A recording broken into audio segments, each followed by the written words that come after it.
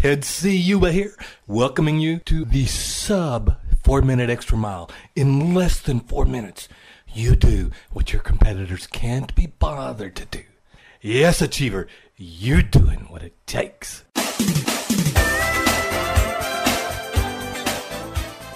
One of the things that always fascinates me and that I take every advantage that I can when I'm in a country or a place that has one is lighthouses.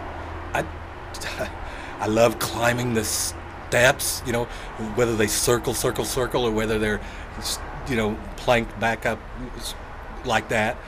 I love, I love the openness. There's always an openness inside.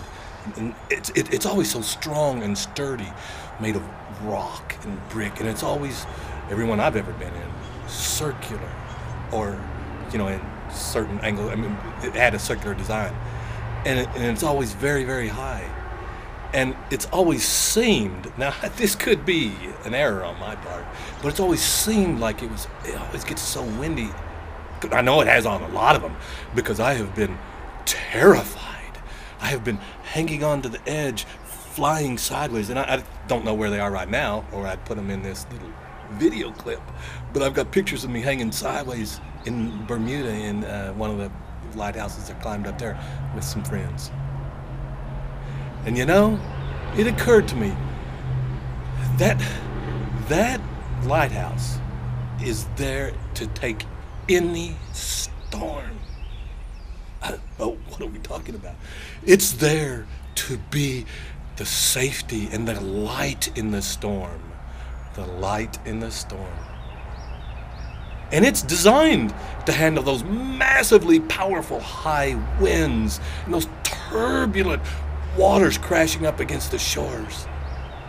And the crack and the pow of lightning and thunder. That's what it's designed to do. And it does. I've never been in a new modern lighthouse. By the way, they've all had years on them. Most of it is still working. That light is so intense. Ooh, in the nighttime, if you can get close, that light is so hot. Now, it's hot in the daytime, too. It's just it's got other characteristics like being brilliant. And it occurs to me most people will let their opinions change, and most people will not do something because they're afraid of what people will think of them. We call that letting ego get in the way.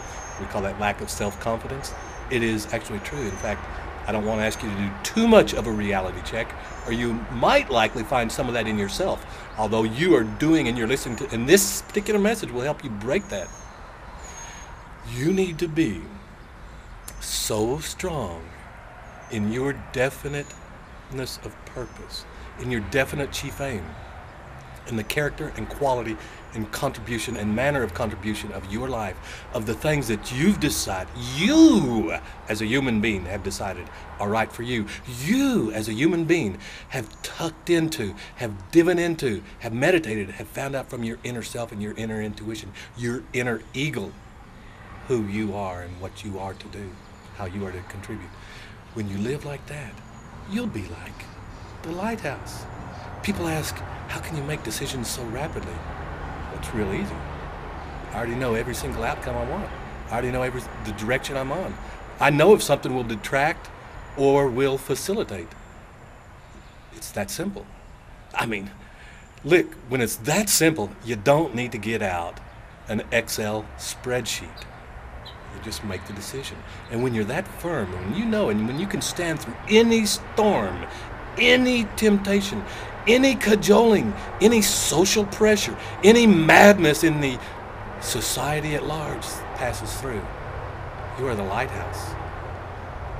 You are the lighthouse. You are strong and firm. And you are indeed a benefit for those lost souls who are looking, looking for your help.